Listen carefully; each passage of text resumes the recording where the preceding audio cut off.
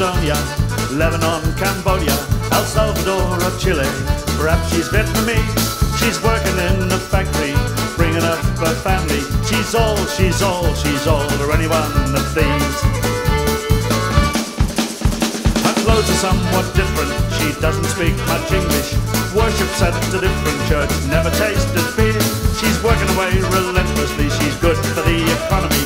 In every sense, this woman's an Australian pioneer. She's here, she's living over here. She's not an alien, she's Australian, and she's a pioneer.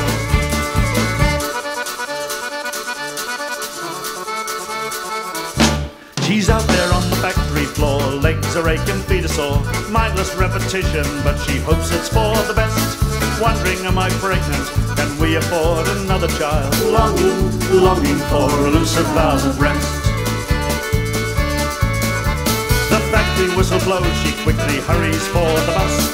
Ignores jibes and insults, pretend she doesn't hear. Run and do the shopping, cook the family's dinner. No rest for her, this woman, this Australian pioneer.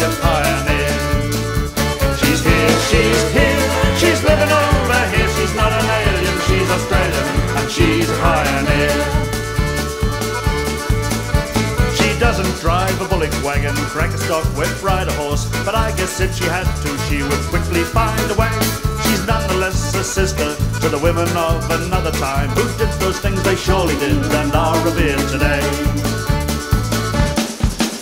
She came out to Australia from a homeland wrecked with poverty, hunger and oppression, a life of constant fear. But nonetheless, it's difficult, this new life so bewildering, and the woman's never heard of crazy words like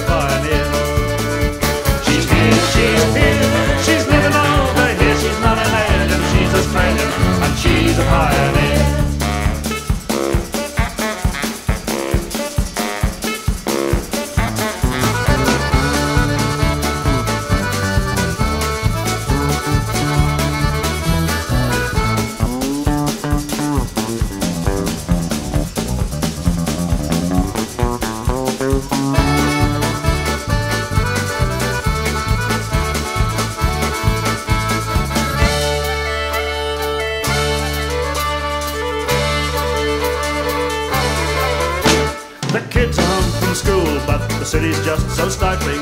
Remember all those dreams about the beaches, bush and sun. Late at night she sits a while, thinking of her childhood, reflecting, reflecting on this new life she's begun. But her son won't wait for Collingwood, her daughter's yarn of age, and Australia should be grateful that she came over here, working in the factory, bringing up a family, laying the foundations, this Australian pioneer.